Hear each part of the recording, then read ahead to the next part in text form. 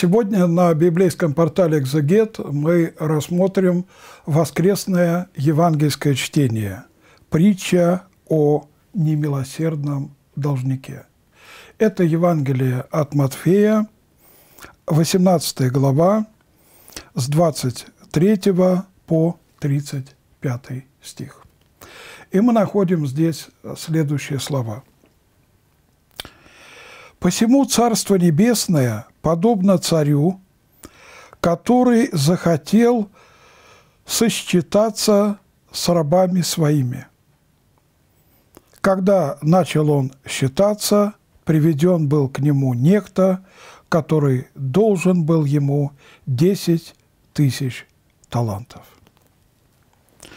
На самом деле э, талант – это очень э, серьезная единица. Э, это крупная денежная единица, около 26 килограммов чистого серебра.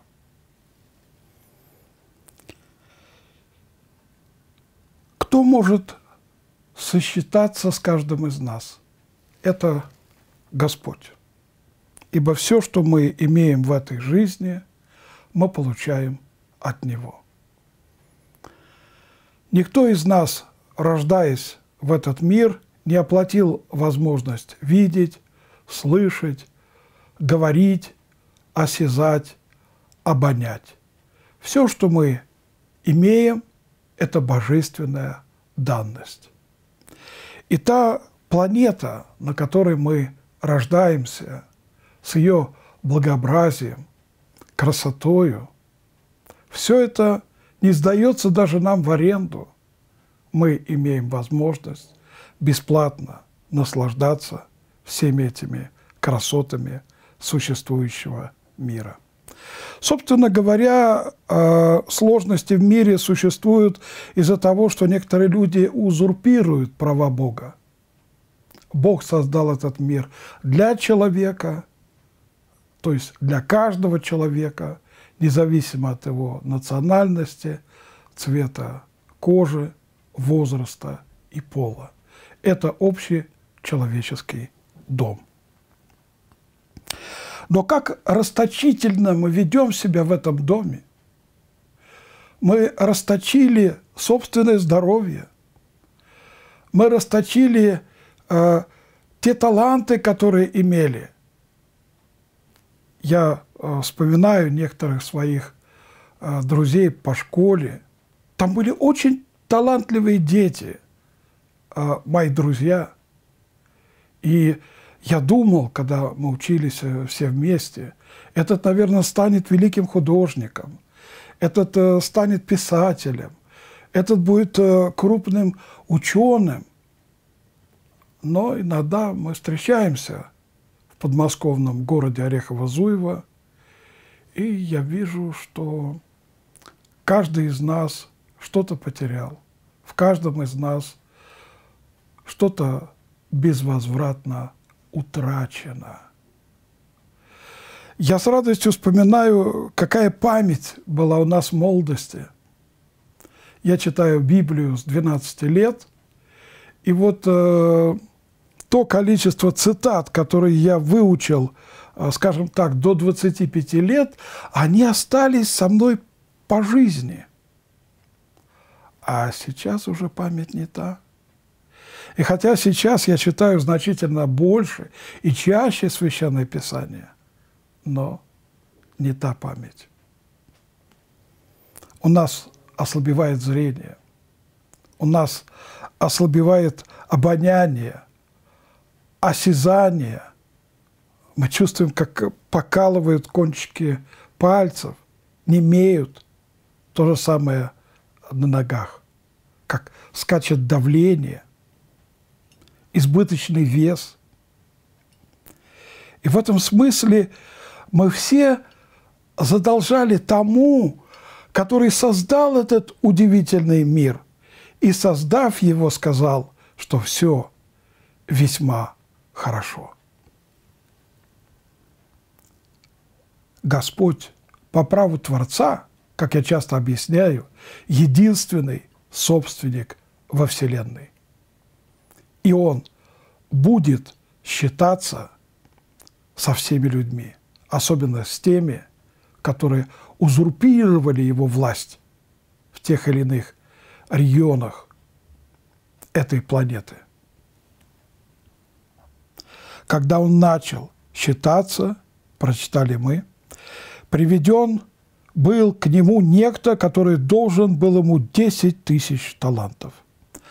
А как он не имел чем заплатить, то государь его приказал продать его, и жену его, и детей, и все, что он имел, и заплатить.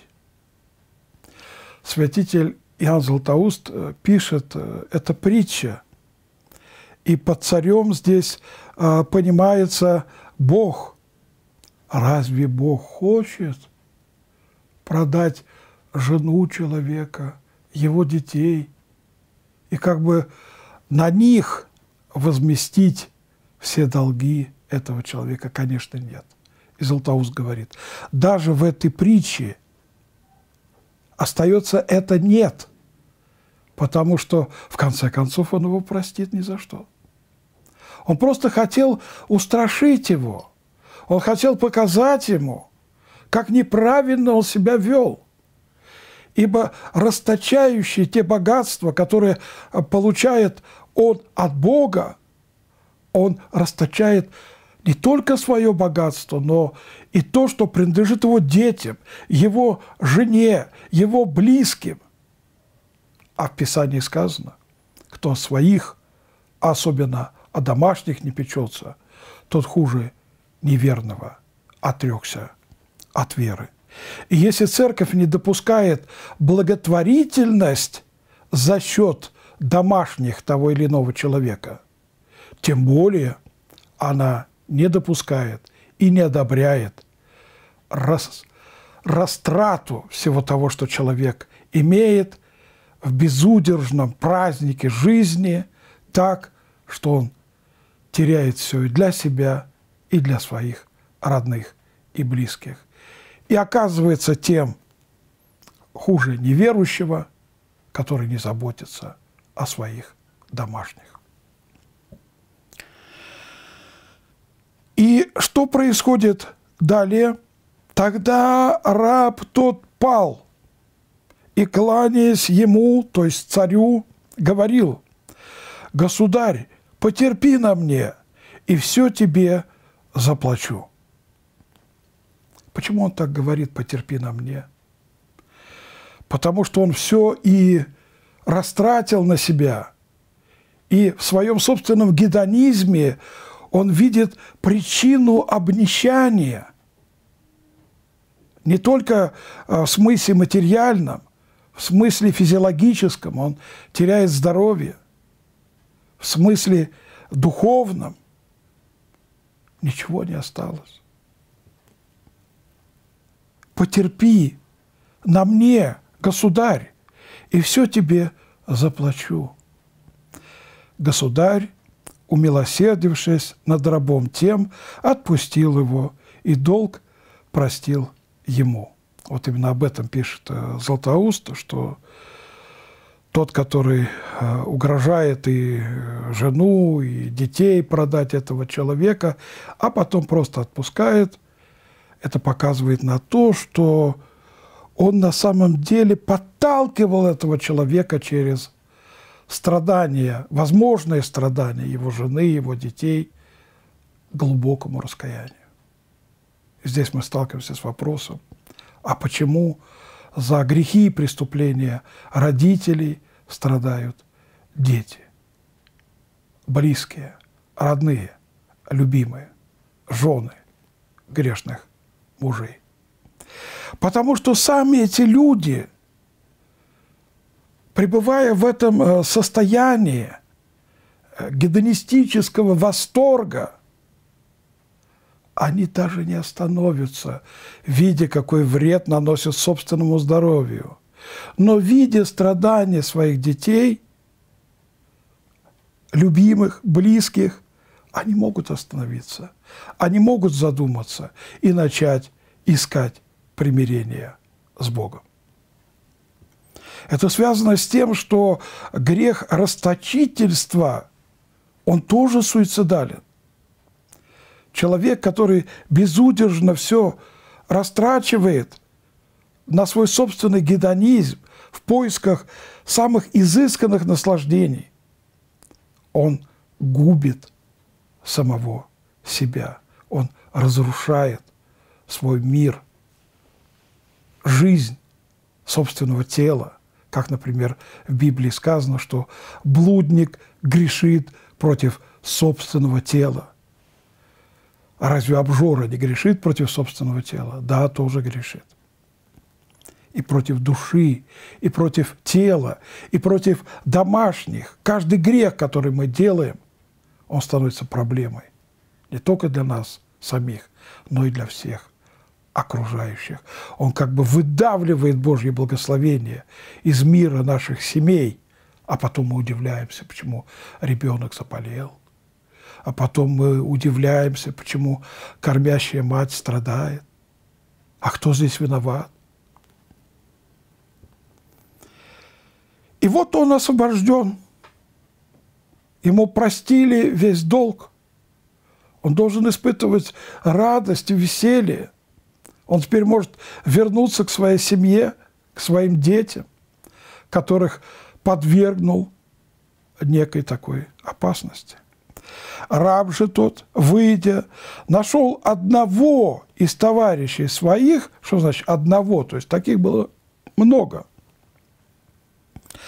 который должен был ему сто динариев, и, схватив его, душил, говоря, «Отдай мне что должен.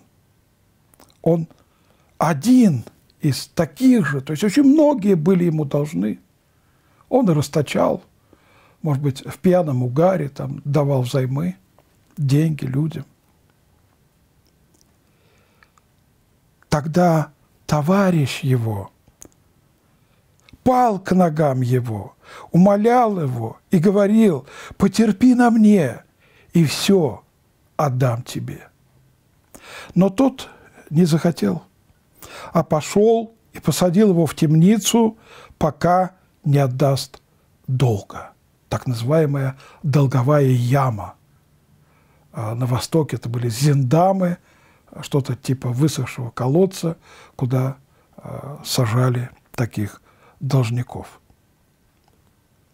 Товарищи его, вот этого, которого посадили в долговую яму, видев происшедшее, очень огорчились и, придя, рассказали государю своему все бывшее. А кому еще нам рассказывать? Любой из нас, страдающий русский православный человек, что бы он ни натворил, он будет обращаться к Богу с просьбой помочь. А так как наши проблемы всегда связаны с проблемами а, других людей, и мы сами проблема для других людей, то здесь такая очень опасная взаимосвязь. И что происходит далее? Государь простил ему 10 тысяч талантов и не посадил его в темницу – и не продал в рабство его жену и его детей. А как действует он? Он сажает человека в тюрьму всего за 100 динариев. Это э, несравненно более мелкий долг, и таких должников у него было э, достаточно много. Тогда государь его призывает его и говорит, злой раб, весь долг тот я простил тебе. Десять тысяч талантов. Простил тебе.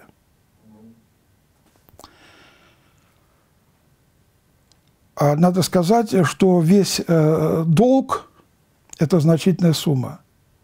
А Динарий – это римская серебряная э, монета. Поэтому 26 э, килограммов серебра – это приблизительно 7 тысяч динариев. И вот ради 100 динариев он посадил человека. И государь выговаривает ему, злой раб, «Весь долг тот я простил тебе, потому что ты упросил меня. Не надлежало ли тебе помиловать товарища твоего, как и я помиловал тебя?» И, разгневавшись, государь его отдал его истязателям, пока не отдаст ему всего долга. Итак, мы видим совершенно четкую картину, почему мы должны прощать и миловать. Потому что мы сами нуждаемся в прощении и в милости. Ибо мера того, как мы относимся к другим людям, и может, и должна быть мерой того, как Бог отнесется к нам. По крайней мере, когда мы читаем молитву Господнюю, мы просим об этом Бога.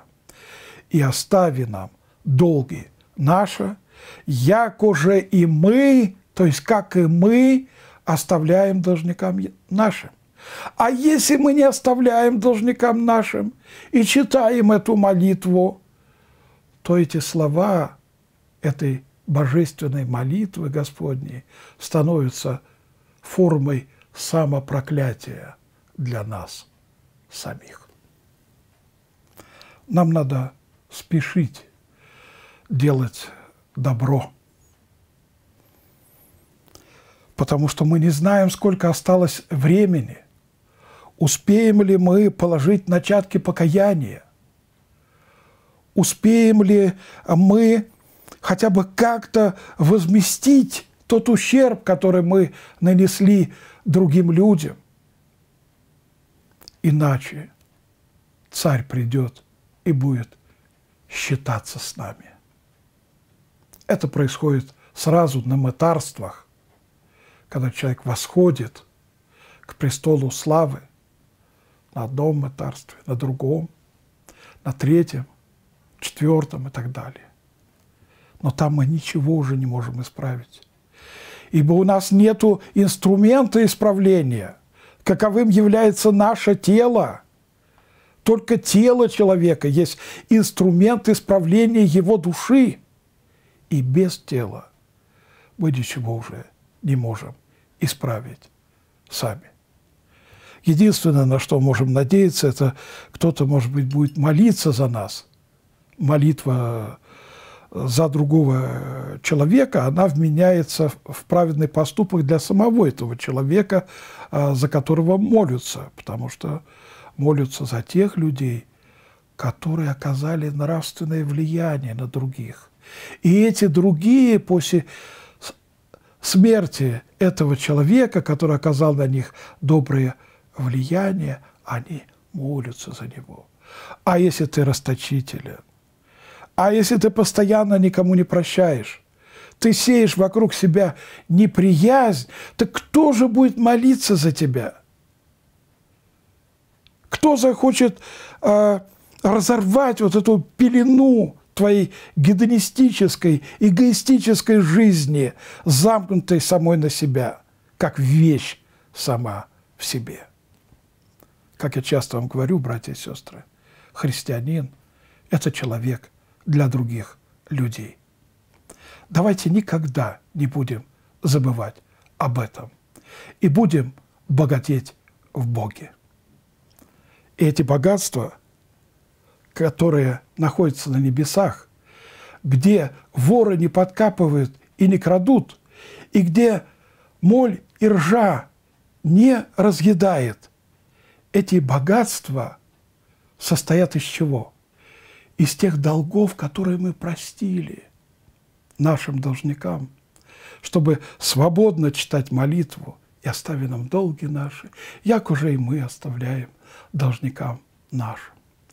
Это богатство в небесном банке состоит из нашей благотворительности, из нашего меценатства, когда, может быть, имея немногие средства, мы стараемся помогать нуждающимся, как вдова принесла лепты, незначительные монеты и положила в сокровищницу храма больше всех.